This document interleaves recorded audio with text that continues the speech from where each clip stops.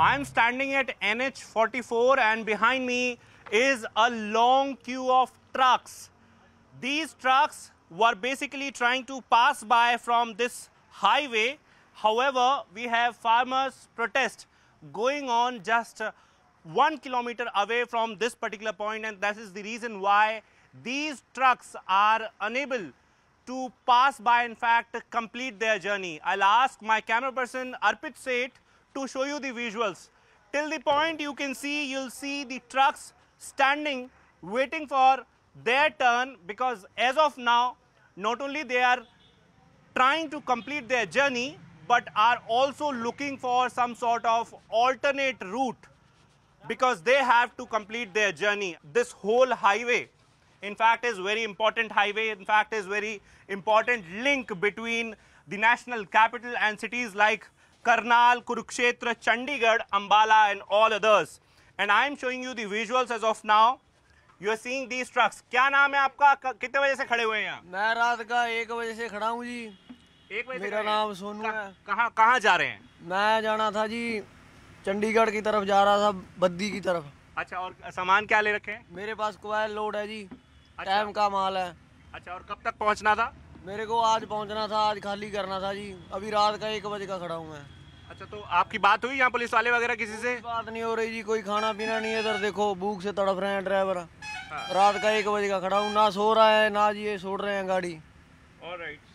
This is what the problem is they people are force to stand here because they don't have any sort of alternate as at this point in time I try to talk to some more people भाई साहब कितने बजे से खड़े हैं? क्या नाम है? ब्रिजेश जी कहाँ जा रहे हैं? चंडीगढ़ चंडीगढ़ जा रहे हैं। क्या है ट्रक में? Goodyear tyre. अच्छा और कब तक पहुँचना था? चार बजे पहुँच जाता रात दस बजे खड़ा हूँ। अच्छा कुछ बताया पुलिस वालों ने? कुछ नहीं बताया।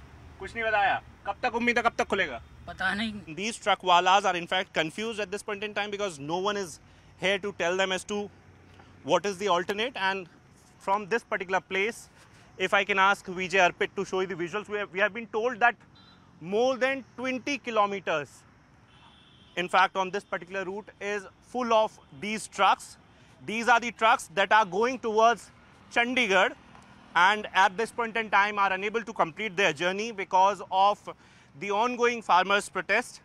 These farmers are basically demanding the msp and also the release of their leaders and supporters who were taken into custody back on 6th of june rakesh tikat the farm leader is basically pointing out that MSP issue is one of the big issues for farmers, and that is the reason why they have basically gathered here on NH44 and will not call off their protest till the time their demands are not fulfilled. I'll try to talk to some more people. भाई साहब आप कहाँ से आए हैं? कितने बजे से फंसे हुए हैं कल चार बजे से फंसे हैं। कल चार बजे से फंसे हुए हैं। जाना किधर है?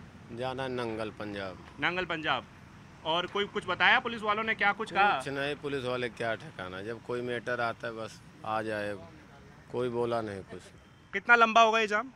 जाम कुल मिला के दिल्ली करीब होता होगा। दिल्ली करीब होता होगा। करनाल तक तो हमने भी देखा। हाँ ये दिल्ली करीब पानीपत तो ढांक गया होगा क्योंकि शाम को ही गाड़ियाँ निकलती हैं ज़्यादा। हाँ। तो कुछ नहीं दिल्ली के करीब हो ही गया होगा। अच्छा आप आप कहाँ से हैं बाजी? हम सर दिल्ली से हैं। दिल्ली से और कहाँ जा रहे हैं? हम जा रहे हैं जम्मू जाना सर। जम्मू जाना है? हाँ अरे आपको तो लंबा जाना है। हाँ जी सर। और कब तक पहुँचना था? पहुँचना था कल ही रात को पहुँचना था। हाँ। अभी इधर ही हैं फंसे हुए कल से। यहाँ पुलिस वाले जो एडमिनिस्ट्रेशन है वो तो आया ही होगा। आपके पास कुछ तो बताया होगा। उन्होंने कुछ नहीं बताया ना ही कोई आया हमारे पास। आप नहीं है वो खड़ा है वो तो ये और कह रहा हवा निकाल देंगे हम। आपको गाड़ी साइड में लगा रहे हैं तो बोल हवा निकाल देंगे हम। अच्छा। ये जो पुलिस वाला खड़ा है यहाँ पे। अच्छा। कुछ उम्मीद लग रही है कब तक खुल पाएगा? हमको सर कोई कोई उम्मीद नहीं कोई उम्मीद नहीं इसकी है। हाँ ये बोले कि जो फंसे हुए हैं ये दस बजे के तो कोई उम्मीद नहीं है। कोई कुछ नहीं बता रहा क्या चक्कर है? खाना भी नहीं खाया कुछ भी नहीं खाया। ऐसे गाड़ियाँ खड़ी है धूप में।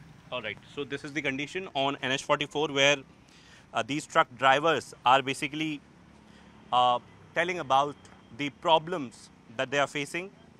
They had to complete their journey. Some are going towards Chandigarh. Some are in fact going to Jammu. But at this point in time are unable to complete their journey because of the ongoing farmers protest.